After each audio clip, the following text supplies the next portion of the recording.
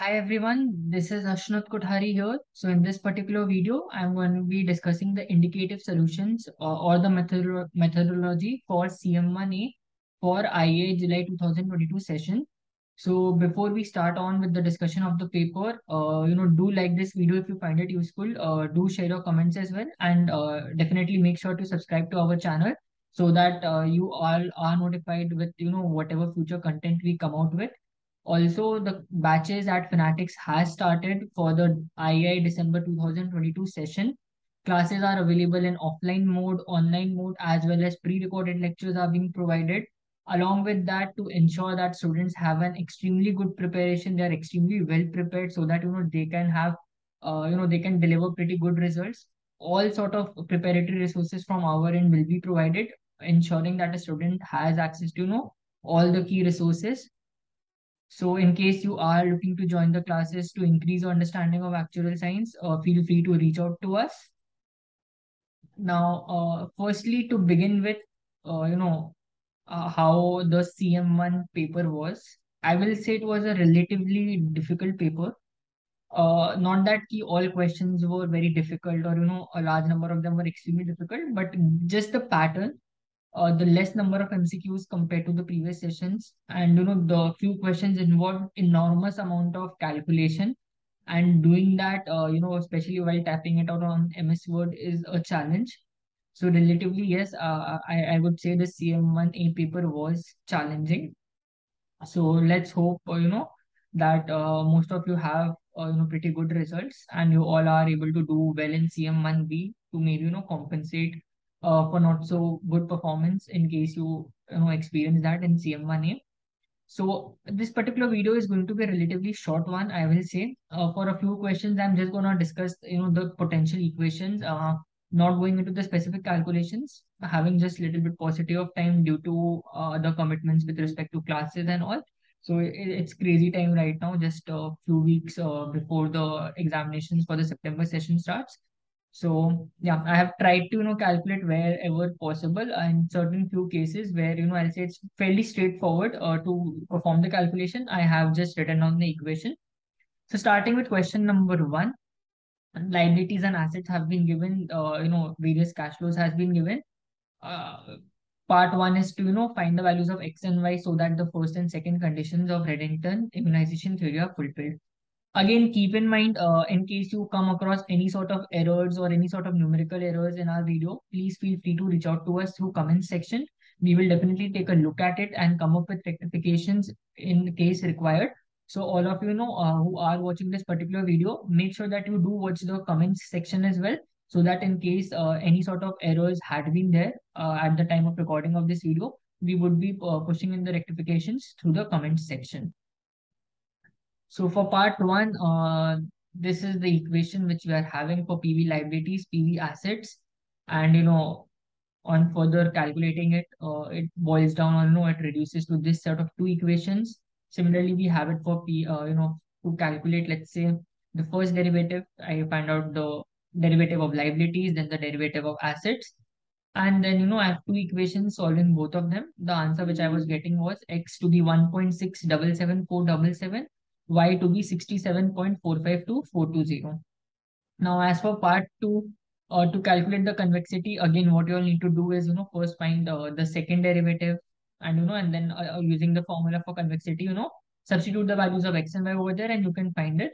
So I have not performed that particular sort of calculation over here, but you can see using these equations, the earlier one, PV, you can, uh, you have the PV dash as well. You can again differentiate it to get the numerator part of convexity and proceed uh, for the calculation part.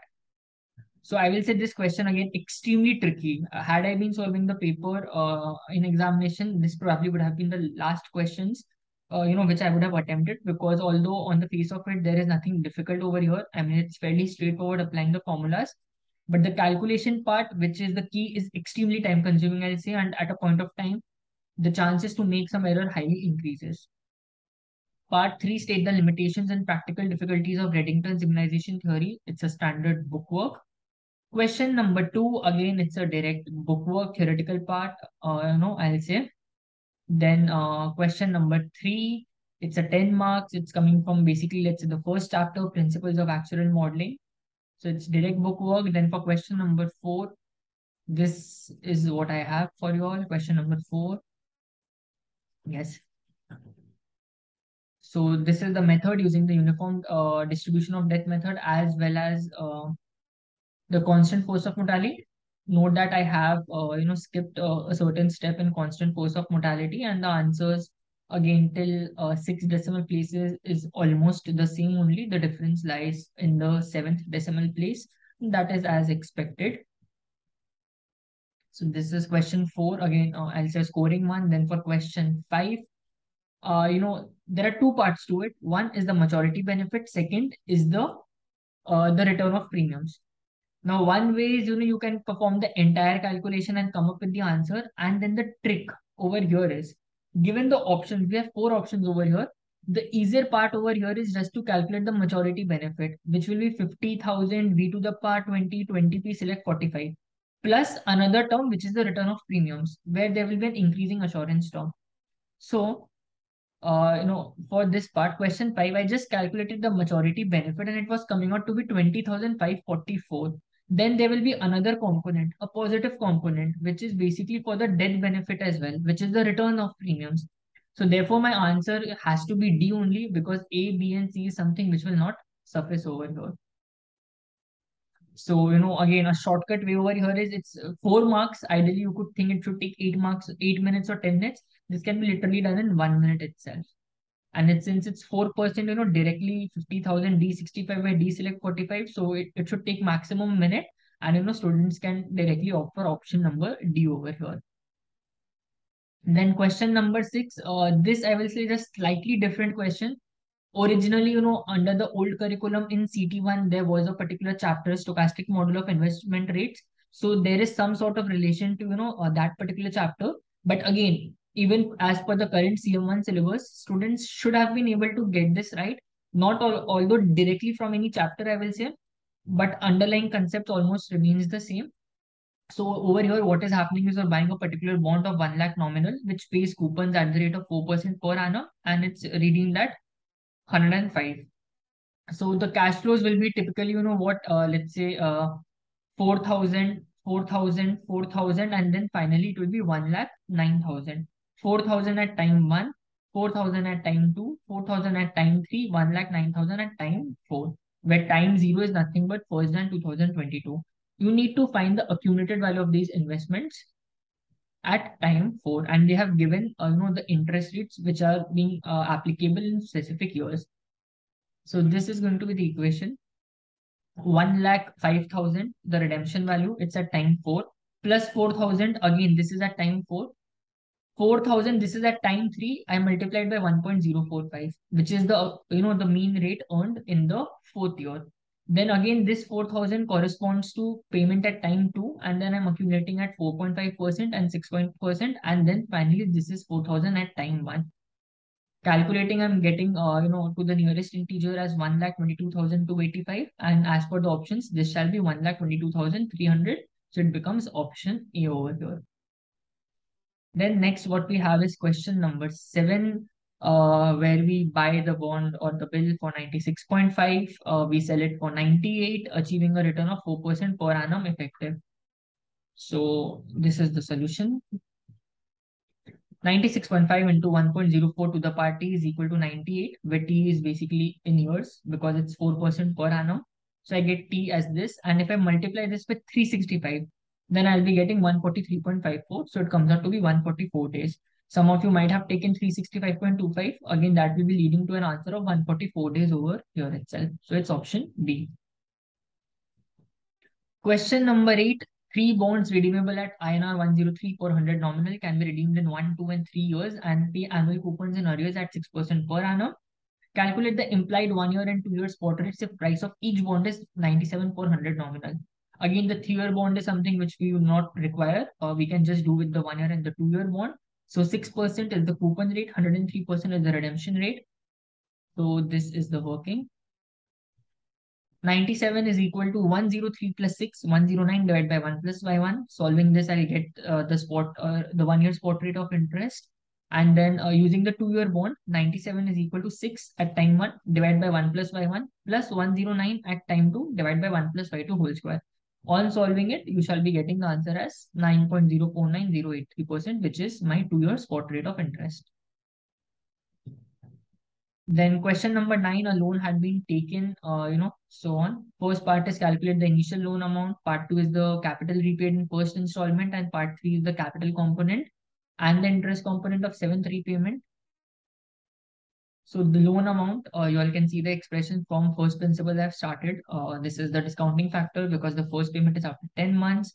It's a 1000 increasing by 5% and it's at an interval of, you know, four months. 4 by 12 is coming out as 1 by 3. So v to the power 1 by 3.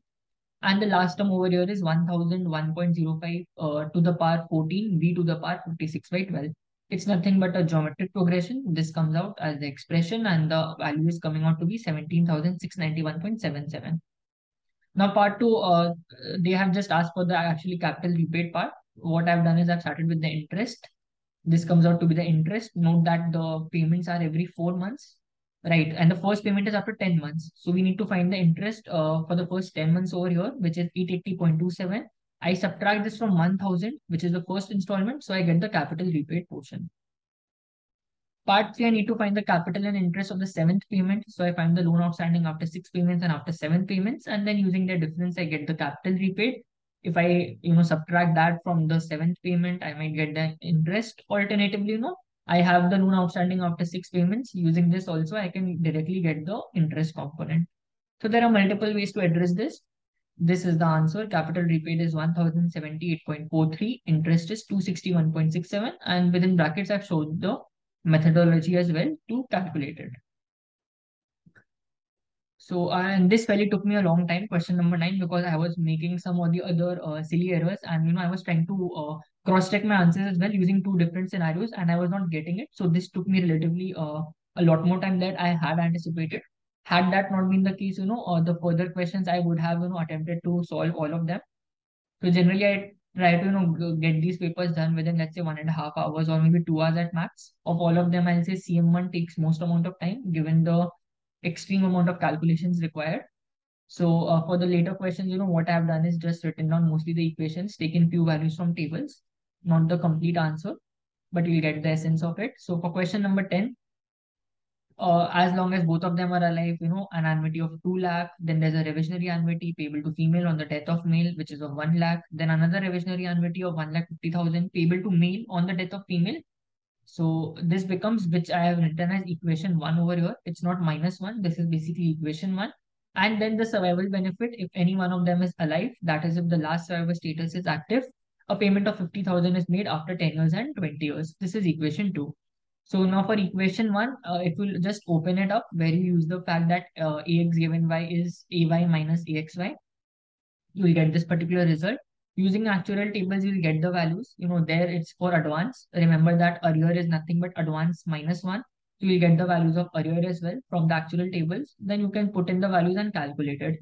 As for 10p, 60, 55, you know, you can do it single plus single minus joint and, you know, directly calculate this using actuarial tables. Then uh, next, which we have is question number 11, which is, I will say, uh, theoretical part, uh, direct book work. Then question number 12, which I'll say just slightly dicey question, I'll say. Uh, so, uh, because I feel that part two, I mean, the quantum of marks given does not justify the amount of effort required. Could be that, you know, I might have been missing something right now. I have been thinking uh, for quite some time, you know, with this question as well. I, I just feel that uh, part two specifically is overmarked, but then uh, you know I'll have to wait for the examiner report to come out to see you know if there was anything missed out. In case you all feel that you know the answers which I've come up with is not correct, there should be something else. Please you know feel free to reach out to us too through comments section. So you know what's happening is uh, here what is happening. There's an individual who is age 35, term is 13 years and uh, this particular individual continues to pay a premium of 50,000 as long as this person is alive. And after 13 years, the particular child will get the maturity benefit of 9 lakh. Note that if the person dies in between, uh, he or she does not have to pay any further premiums, obviously. And uh, the you know the student or the particular child will still be getting the maturity amount of 9 lakh. Just that the further premium does not have to be paid. So as per my understanding, uh, the product is basically that after 13 years, the maturity of benefit of 9 lakh is kind of fixed only, right? Whether the uh, the person who has taken out a loan, the parent, whether he or she is alive or not, uh, you know, we are assuming that the child later on has negligent mortality. So we assume that the child is going to remain alive only. So basically, the 9 lakh part is something which is kind of, uh, you know, we could think it to be fixed only. It's certain payment. What is uncertain is the quantum of premiums which this individual has to make. As long as this person is alive, he or she will continue to pay it. So part one is to check whether the overall returns are more than 4% or not. So if the person, let's say, you know, assumes is, uh, let's say, you know, alive for all the 13 years, then the maximum premium which this person would be paying will be, you know, 50,000 into 30 and these will be payable in advance. So if I find the accumulated value,